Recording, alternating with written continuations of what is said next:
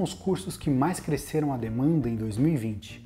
Olá, eu sou Wagner Cassimiro e este é o Expresso 3.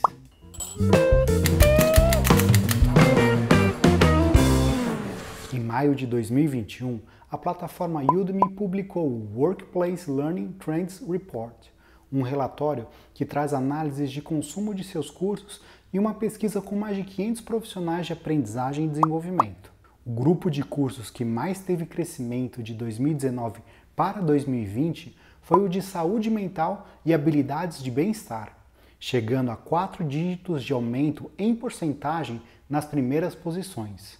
Em ordem temos gestão da ansiedade, 3.967% de crescimento, resiliência, 1.296% de crescimento, gestão de estresse, 1.015% de crescimento, meditação, 886% de crescimento e mindfulness, 784% de crescimento. Estes dados corroboram que este tema deixou de ser um tabu para as organizações e que a aprendizagem corporativa está cada vez mais próxima do bem-estar e da qualidade de vida no trabalho.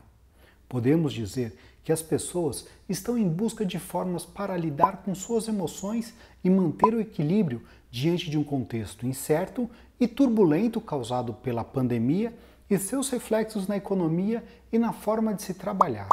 Outros grupos de cursos voltados a comportamentos também ganharam destaque, como comunicação, liderança e produtividade. Em comunicação, destacaram-se as habilidades de escuta, 1.650% de crescimento, comunicação empresarial, 1.585% de crescimento e escrita empresarial, 1.371% de crescimento. Em liderança, destacaram-se a diversidade e inclusão, 1.259% de crescimento, a tomada de decisões, 1.240% de crescimento, e o pensamento estratégico, 848% de crescimento. Em produtividade, destacaram-se a gestão do tempo, 990% de crescimento, a motivação, 855% de crescimento e o foco, 810% de crescimento. Em relação às habilidades técnicas, destacaram-se os grupos de cursos ligados à alfabetização de dados, à automação da ciência de dados, aos papéis na tecnologia híbridos e à cibersegurança.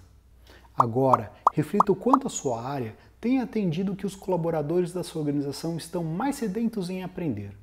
Será que você está ajudando a reduzir o estresse que atrapalha a produtividade? Bem, no canal Expresso 3 você descobrirá como manter o foco na estratégia, mas centrado nas pessoas. Até mais!